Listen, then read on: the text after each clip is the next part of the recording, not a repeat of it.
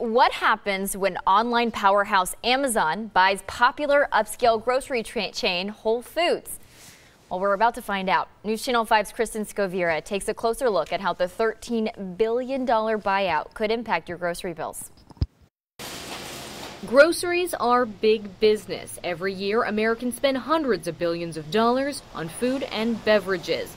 And now Amazon wants a bigger piece of the pie. I do think it's a great marriage. Eva Fry runs a grocery price comparison business. We look at Walmart, Kroger, Albertsons and Safeway, as well as Target on a daily basis. I caught up with her via Skype to ask her if Amazon's acquisition will save shoppers money. You've seen many industries go out of business because of the Amazon effect. And so I think that I'm um, not suggesting that that's what's going to happen here, but I think that we're definitely going to see prices go down. According to Fry, today 8% of Americans buy their groceries online. But online shopping is not just about home delivery. She thinks clicking and collecting collecting or buying online and picking up in store will make the most economic sense moving forward.